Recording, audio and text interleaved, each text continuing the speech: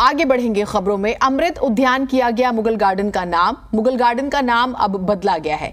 राष्ट्रपति भवन के गार्डन का नाम बदला गया है। अमृत उद्यान में बनाए गए हैं सेल्फी पॉइंट्स। इस बार अमृत उद्यान 12 बजे से 9 बजे तक खुलेगा। ऑनलाइन बुकिंग के ज़रिए लोग अमृत उद्यान जा सकेंगे। पहली बार वॉक इन विजिटर्स को भी गार्डन में घूमने दिया जाएगा और सबसे ज़्यादा समय के लिए खुलेगा 31 जनवरी से 26 मार्च तक। आपने सुना होगा मुगल गार्डन है जो खुला करता था और लोग घूमने जाते थे, खासतौर से फरवरी महीने में। तो अब कुछ तब्दीलियाँ हुई हैं इस बार। वो जो समय है, एक सीमित समय के लिए होता था तो उसे बढ़ा दिया गया है। आपको दुनिया जहान के खूबसूरत एक से बढ़कर एक फूल देखने को मिलेंगे। यदि आप नहीं गए हैं तो आप ज़रूर जाइएगा। अपने आप एक्सप्लोर कीजिए ज़्यादा से ज़्यादा। इस साल मानसून सीज़न में भी ये खुलेगा। 12 किस्म के ट्यूलिप्स देखने को मिलेंगे। जगह जगह क्यू कोड लगे होंगे जिन्हें स्कैन करके आपको फूलों के बारे में दिलचस्प जानकारी मिलेंगी। जो बड़ी खबर है वो ये कि मुगल गार्डन का नाम अब अमृत उद्यान किया गया है।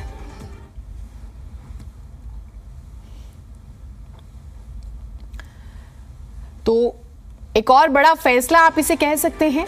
राष्ट्रपति भवन का जो गार्डन था, आप मुगल गार्डन के नाम से जिसे जानते थे, जो देश दुनिया में विख्यात है, उसका नाम बदला गया है, अमृत उद्यान किया गया है और 12 बजे से 9 बजे तक ये खुलेगा। तो आप प्लान कर सकते हैं, न सिर्फ़ टाइमिंग बढ़ाई गई है, बल्कि दिन भी बढ़ा दिए गए हैं। तो आप किसी भी वजह से व्यस्त हैं, पहले सीमित दिन थे तो अमूमन लोग चूक जाते थे।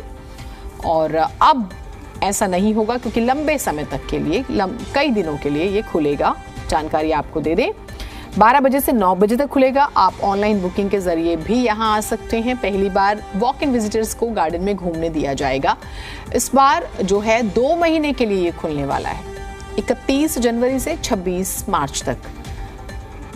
और ख़ास तौर से लोग यहाँ पर आते हैं रंग बिरंगे फूलों को देखने के लिए।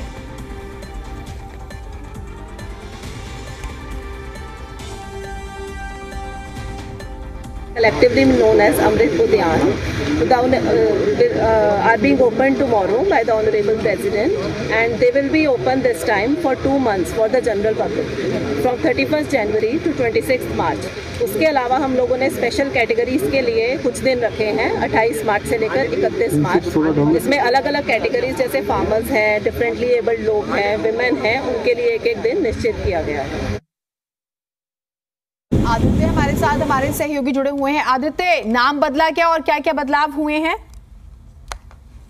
जी, बिल्कुल देखिए, कहीं ना कहीं एक बड़ी खबर है भारत के लिए और उन लोगों के लिए जो बहुत समय से ये सुन रहे थे कि शायद, और पिछले दो महीने से ये बहुत चर्चा में था कि मुगल गार्डन का नाम बदला जा सकता है।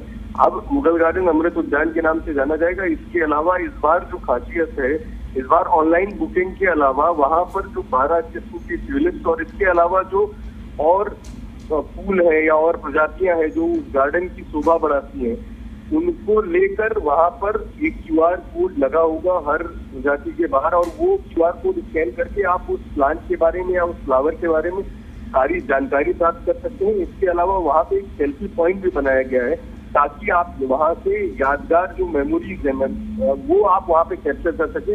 कहीं ना कहीं सरकार का प्रयास इस बात ये भी है और राष्ट्रपति भवन जो कार्यालय उसका प्रयास ये है कि लोगों के मन में और लोगों को आसानी से अमृत उद्यान उनके मन में बस जाए उसको लेकर वहाँ पर बहुत सारी सुविधाएँ हैं बहुत सारी तैयारियाँ की गई हैं बहुत सारे फ्लैग्स और होर्डिंग लगे हैं जहाँ पर आप तस्वीरें खिंचवा सकते हैं। जी। बिल्कुल और ए, एक और जानकारी दीजिएगा दिल्ली वालों ने तो खास तौर से यहाँ पर विज़िट किया भी है।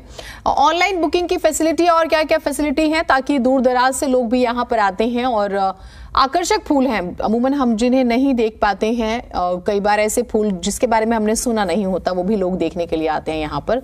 तो क्या और सहूलियत है आम जनता के लिहाज से?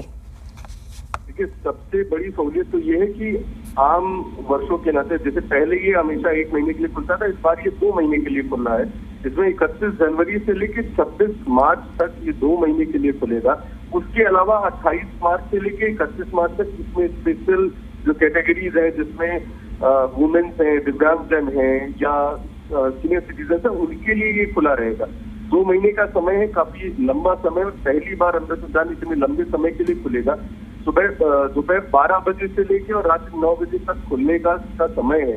इसके अलावा क्यू आर कोड वहाँ पे जो उन्होंने रखे हैं ताकि जानकारी आपको विस्तृत हो सके उन स्कूलों के लिए और बाकी बुकिंग का अभी ऑनलाइन माध्यम ही है।